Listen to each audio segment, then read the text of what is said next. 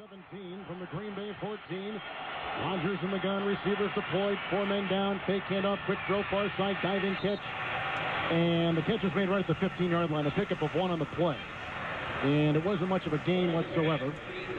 So it was caught by Greg Jennings on a knee on the far side. There was a good quick flip. It was being one of those little bubble screens with his fellow receiver out there blocking for him. But Jennings there was a lot of motorcycles always in the family. Um, my dad always had something laying around. I remember going to my grandparents' house as a kid, and they had all these old these old bikes stacked up in the backyard. I actually got one from my grandfather. It was a 1966 Honda S90. It was a great little bike. It was a, kind of the, one of the first bikes I started really getting my hands dirty on. Free. There's a ton of free pigs. A lot of people post pigs and all that stuff. And then there's like that 5% that are back. I looked around the garage and I realized in, in all these bins and boxes that there was enough here to actually put a motorcycle together. I'd spent so much time keeping my own bike on the road and familiarizing myself with it that um, it wasn't that difficult to do the first one. Um, and it was the only difficult thing was thinking that there was some way to make a living at it, and especially after I first sold that one and profited nothing. Uh, but it was it, it too was a Honda 750. It was silver, and it was the first time where I really started mapping out bikes in my mind, picking colors, trying to see them finished. Because if I can visualize them, it's very easy to, to make it happen.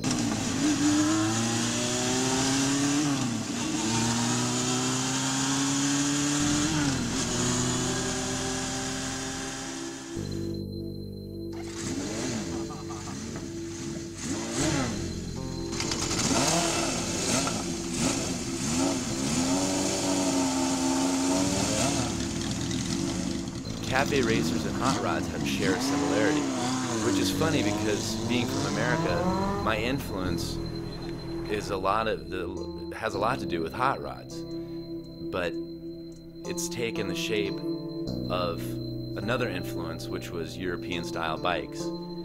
So it's it's the same concept. It's truly the same concept. I think hot rodding is the American version of cafe racers in England. It's the same concept. You take you take materials and old machines and you try to make something either custom or cool, whatever it is that you envision.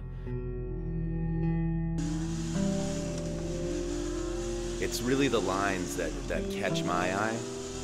You know, growing up, not being able to really afford British motorcycles and not really knowing where to find them, there, there was a million Hondas laying around, and all I wanted to do was I had to figure out some way to sort of replicate what it is that I fell in love with about these other machines.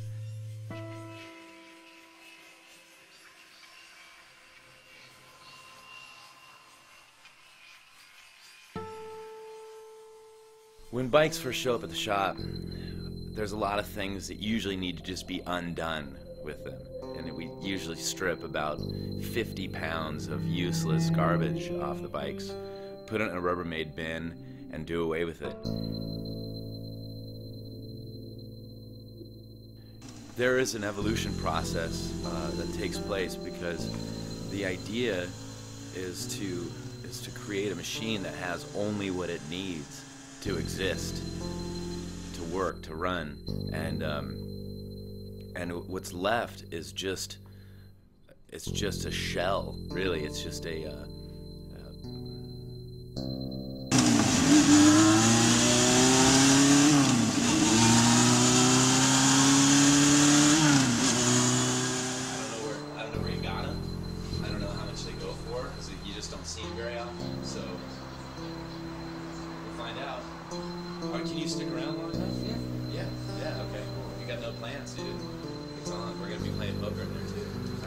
being similar to uh, factory race bikes is designing a cockpit for the rider, more or less. You have a you have typically your feet are higher up and further back. That's for cornering to keep your toes from dragging ground. You've got this cafe cowling or this seat pan that's designed so you don't slide off the back of the bike under acceleration. You've got, you know, sometimes I'll do what I call knee cutaways on the tanks or hand pounded, hand pounded cutaways into the tanks for your knees to fit in. Um, your your hand your handlebars clip-ons um, are low and aggressive in front of you for improved cornering and handling and stability and the, the, the quickness and the crispness of the turns uh, with the shorter bars and things like that.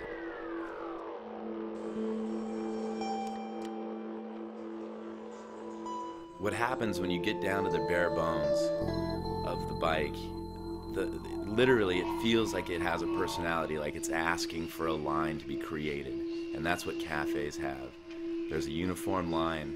And it's it's funny because sometimes you can look at them and they almost have a bad posture to them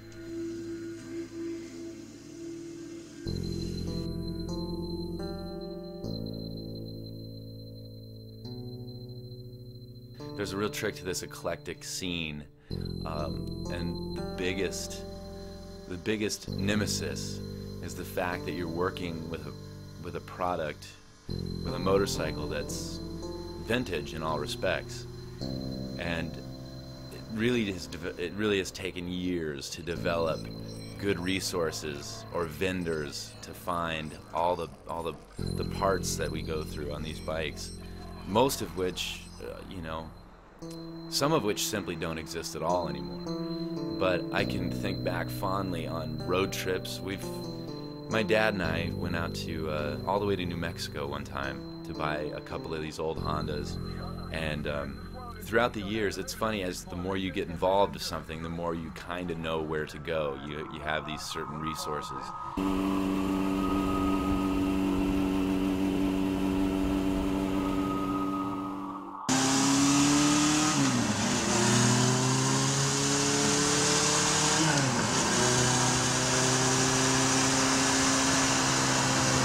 I like to work fast. I like to work fast because I may have mentioned earlier I'm just a little bit impatient with with wanting to see something reach fruition, to get it out of my head and onto a bike. Because you, you dream about it all day and you just want to see it done. I, I've I've always done it the same way. I never do the same thing twice.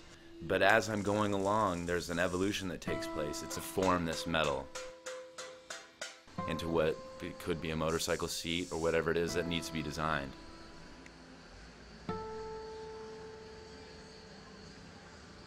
Even though you may be the one shaping it, it's it's a piece by piece kind of a thing. Except there's absolute beauty in that thought pattern, in that thought process, how to make it work with using your hands, limited limited tooling, limited machinery, and you see how everything that's there is all that has to be there. There is no room for anything else. You can feel a spirit in that bike. Uh, nothing ever happens. There's no two designs that are ever the same, so it's not, it's always a brand new experience with every bike.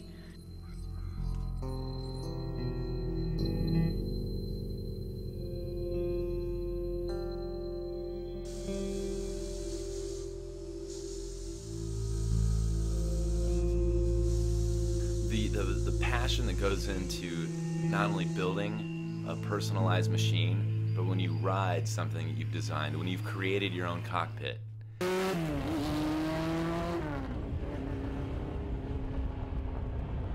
That's that's what I'm trying to do is to create a more functional, elegant machine based on upon what I was influenced from. I think it's a it's a different it's just a different vibe. There's the burn. You're not gonna ever see oh, Yeah, that'll be great. Yeah, but you know what? That'll be perfect. I know. You guys need to come down to Sugar Bears with us. We're getting a bad part of LA. yeah. Hundred percent, you know. Bring it back. Yeah. It's on the dark side. Literally. It's, it's bad, dude. this guy Sugar Bear has like everything any motorcycle part known to man. It's Is just right? yeah, it's Yeah, one of those it's, it's resources. like it's like a uh, we call it a um, You could check. yeah, boneyard. Yeah.